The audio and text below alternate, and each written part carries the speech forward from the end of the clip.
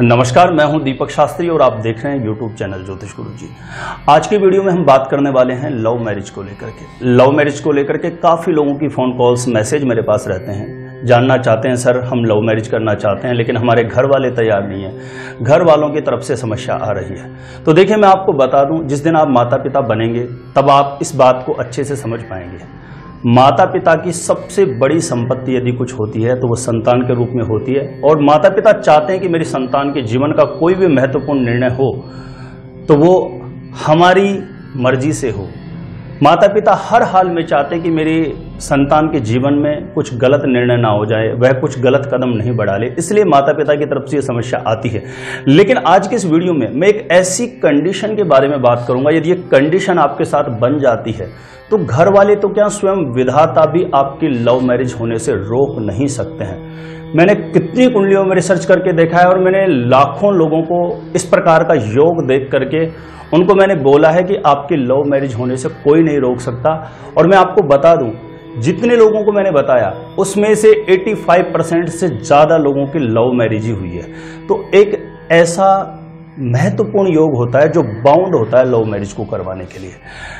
उसको कैसे देखते हैं? बहुत सरल, सहज, आसान भाषा में मैं आपको समझाने का प्रयास करता हूँ। आप थोड़ा सा अपना दिमाग लगाएँगे तो आप स्वयं अपनी कुंडली देख करके पता कर लेंगे कि हाँ मेरी कुंडली में लव मैरिज का योग है और मेरी लव मैरिज होके रहेगी।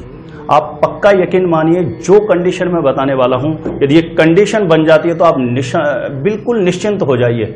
आपकी लव मैरिज होके रहेगी, क्योंकि वो ग्रह 101 परसेंट बाउंड है आपकी लव मैरिज कराने के लिए। तो आइए जानते हैं सबसे पहली कंडीशन कैसे देखेंगे हम। यदि वीडियो अच्छा लगता है तो लाइक ज़रूर करें, क्योंकि आप लोगों के लिए मैं इतनी मेहनत करके और ज्योतिष के ये बहुत रहस्यमय सूत्र हैं, जो आपको कोई नहीं बताने वाला है। मैं बहुत कुंडलियों में रिसर्च करके, अनुभव करके, लोगों पर लागू करके देखता हूँ। उसके बाद में किसी ना किसी वीडियो के माध्यम से आप लोगों के साथ शेयर करता हूँ। तो आइए विषय पर आते हैं। सबसे पहला महत्वपूर्ण सूत्र हम कैसे देखेंगे? तो आप ये कुंडली देखिए। इस कुंडली के अंदर, इस कुंडली के अंदर ये जितने भी खाने बने हुए एक, दो, तीन, चार, पाँच तो देखिए कुंडली का जो आकार आकृति होती है, इसी प्रकार की होती है। इसमें जो अंक लिखे हुए हैं आपकी कुंडली जब आप देखेंगे तो उसमें आपको अलग अलग मिल सकते हैं। इन कुंडली के खानों में कहीं पर भी चंद्र और शुक्र एक जगह पर बैठ जाएँ। चंद्र और शुक्र एक जगह पर बैठ जाते हैं तो कंडीशन बनेगी लव मैरिज होने की। ये ग्रह बाउंड होंगे, ये ग्रह बाध्य हो जाएँगे आपके लव मैरिज करवाने के लिए। और इसमें भी विशेषकर एक ऐसी अकाट्य कंडीशन कब बनेगी जिसके बनने पर एक परसेंट भी संशय करने की ज़रूरत नहीं है लव मैरिज होके रहती है। यदि चंद्र और शुक्र की युति जहाँ पर इस कुंडली में एक लिखा हुआ है, इस खाने में हो जाए, जहाँ इस कुंडली में पाँच लिखे हुए हैं, इस खाने में हो जाए, जहाँ इस कुंडली में सात लिखा हुआ है इस खाने में शुक्र और चंद्र की युति हो जाती है। तो यहाँ पर प्रबल अकाट्य कंडीशन बनती है कि जिसमें ग्रह बाउंड रहेगा आपकी लव मैरिज करवाने के लिए और ऐसी स्थिति में लव मैरिज हो करके रहती है। दूसरी कंडीशन की हम बात करें, जो बहुत ही, इससे भी ज़्यादा पावरफुल कंडीशन होती है ये। यदि कुंडली के पंचम भाव का स्वामी और सप्तम भाव का स्वामी एक जगह कुंडली में कहीं पर भी बैठ जाता है, अब ये पंचम भाव का स्वामी और सप्तम भाव का स्वामी कैसे पता करते हैं? एक आसान भाषा में आपको समझा दूँ तो आप अच्छे से समझ जाएँगे, जिसको ज्योतिष के बारे में कुछ भी नहीं आता, वह भी आसानी से पता कर सकता है। तो देखिए, इस कुंडली को आप देखिए, इसमें जहाँ पर पाँच लिखा हुआ है, किसी भी भाव का स्वामी पता करने के लिए अंकों के आधार पर आप कर सकते हैं। जैसे यहाँ पर पाँच लिखा हुआ है, सपोज़ करिए यहाँ पर पाँच की जगह एक लिखा हुआ होता तो इस भाव का स्वामी हो जाता मंगल। दो से शुक्र, तीन से बुध, चार से चंद्रमा, पाँच से सूर्य, छह से बुध, सात से शुक्र, आठ से मंगल, नौ से बृहस्पति, दस से शनि, ग्यारह से शनि और बारह से बृहस्पति। इस प्रकार से आपको भाव का स्वामी पता कर लेना है। अब आपकी कुंडली के अंदर जहाँ पर इस पाँच लिखे हुए इस खाने के अंदर जो भी अंक लिखा हुआ है, आप अपनी कुंडली रख के आसानी से समझ सकते हैं।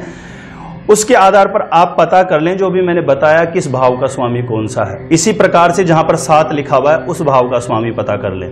जो मैंने अंक बताए उसके आधार पर यहाँ पर तो पाँच और सात लिखा हुआ है, आपकी कुंडली में एक से बारह तक कोई भी अंक लिखा हुआ हो सकता है। अब इन भावों के स्वामी इस कुंडली के ये जितने भी खाने बने हुए हैं, बारह इसमें कहीं पर भी युति कर लेते हैं, एक जगह बैठ जाते हैं तो कंडीशन बन जाएगी लव मैरिज होने की। ये ग्रह, ये स्थिति बाउंड करेगी।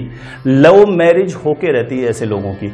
और इसमें भी ये प्रबल अकाट्य कंडीशन कब बन जाती है कि जब कहीं संशय करने की आवश्यकता नहीं है यदि जो मैंने अभी ये बताया पंचम भाव और सप्तम भाव के स्वामी, ये यदि दो नंबर या सात नंबर पर इन भावों में कहीं पर भी बैठ जाए, दो नंबर या सात नंबर, शुक्र की राशि में कहीं पर भी बैठ जाता है तो प्रबल योग बन जाता है लव मैरिज होने का।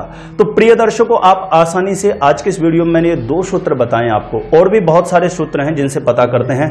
ये बहुत ही महत्वपूर्ण सूत्र हैं जो मैंने बहुत सारी कुंडलियों में लागू करके देखा है। और इन सूत्रों की वजह से मैं इतना कॉन्फिडेंस से इसलिए कह सकता हूँ कि लव मैरिज को लेकर के बहुत सारी कुंडलियाँ मैंने रिसर्च करी हैं और ये कंडीशन मैंने देख करके काफ़ी लोगों को बोला है कि मैं आपको लिख करके देता हूँ 101 परसेंट आपकी लव मैरिज होगी, कोई दिक्कत नहीं आएगी। तो उसमें व्यवधान ज़रूर कुछ ना कुछ आए, लेकिन अंत तो गत्वा उनकी लव मैरिज हुई है। तो ये मैंने पूर्ण रिसर्च करके देखा है, परखा है, अनुभव में इसको अच्छी तरीके से जाँच परख करके ये जानकारी मैं आप तक मैंने पहुंचाई है। तो मुझे पूरी उम्मीद है, इन दो दो सूत्रों को आप ज़रूर कैलकुलेट करें। और यदि ये लागू होते हैं आपकी कुंडली के अंदर तो फिर आपको चिंता करने की ज़रूरत नहीं है, आपकी लव मैरिज होके रहेगी।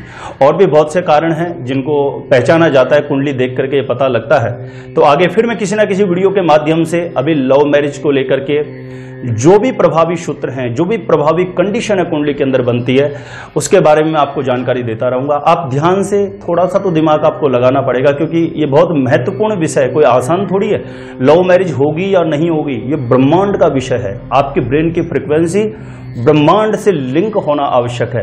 इतना तो आप नहीं कर सकते, योगियों का विषय। कम से कम मैं आपको इतनी रिसर्च के बाद जो आसानी से मैंने परोस दिया इसको तो आप देख ही सकते हैं। और मैंने इतना सरलता से और आसानी से आपको ये बात बताई है कि आप आसान आपको कोई प्रॉब्लम होगी ही नहीं। आप आसानी से पता कर सकते हैं। मैं आगे भी इसी तरीके से आपको लव मैरिज होने की जो प्रबल कंडीशन कुंडली के अंदर बनती हैं उसके बारे में जानकारी देता रहूँगा।